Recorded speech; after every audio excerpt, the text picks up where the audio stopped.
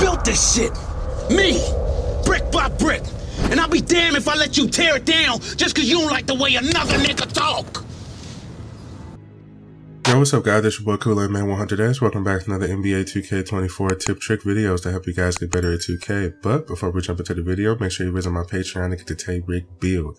Also, if you want to stay on your purpose and grind, make sure you get the complete flow clothing. So guys, we're going to be going over after three for the NBA and Pro Am celebrations. So we're going to get, oh, we get a couple this time. We get the three on the sleeve too. Get the Brooklyn Bridges. Okay. Get Bronson Burner again.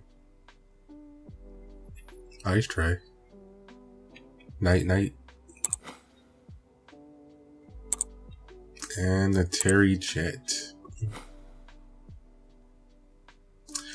Well, I hope you enjoyed the after three. So I hope you enjoy. I'm out of here, guys. Deuces.